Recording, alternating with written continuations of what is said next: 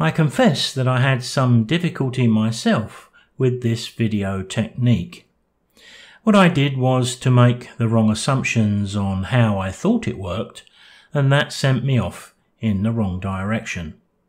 So this master video track technique does not copy or loop our video. So let's begin by showing and explaining exactly what master video track does. It allows us to have a video running continuously, in my case here, as a background through a slideshow. I have still images being displayed over the video, but when the transition takes place, the video continues running. So this does mean that some transitions work better than others. Dissolve is a good one. Shapes, gates, they all work okay. But perhaps transitions like page turn or swap 3D are not so visually pleasing. The video we're using as the master video track is not copied, repeated or looped, so it will only play as a master video for its normal runtime.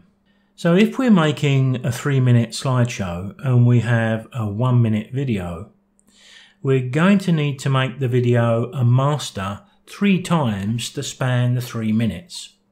In my example, I recorded just 30 seconds of slow motion video, but of course in playback that gives me close to two minutes of video.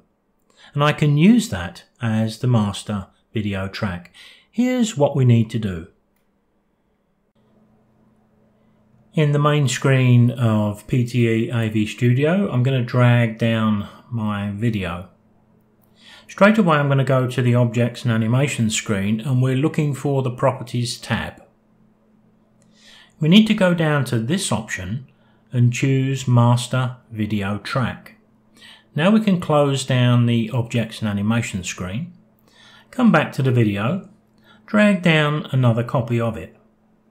This copy we also need to open up into the Objects and Animation screen and also into the Properties tab, but here we can now link it to the original 1886 video. And I can close that. Now in my case, I chose to display still images over the top of the background video. Now let's quickly do that because we're going to do a copy and paste in a moment and it's going to make sense to have an image in place. It'll save a bit of time. So let's go to the objects and animation screen, click into the grey area, and I want to add an image. I'll just pick an image at random, starting at the top left there.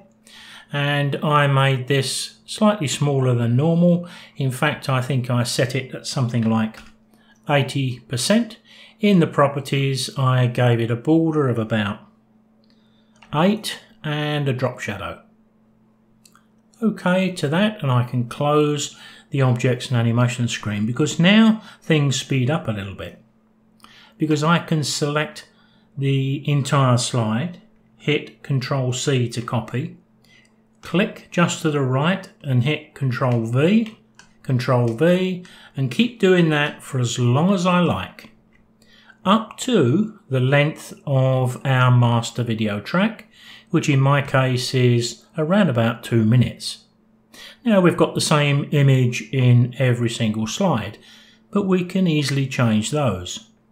Let's select the second one, go to the Objects and Animation screen, Properties tab, Picture option. Here we can select the next one. Skip to the next slide in the sequence and do the same. And we can move through these pretty quickly as you can see. That picture looks a little bit dark. I'm not sure that's a, a good choice for this.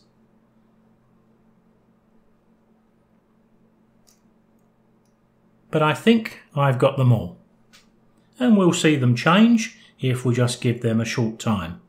That one is a little bit on the dark side. Objects and animation screen. Let's swap it for something else.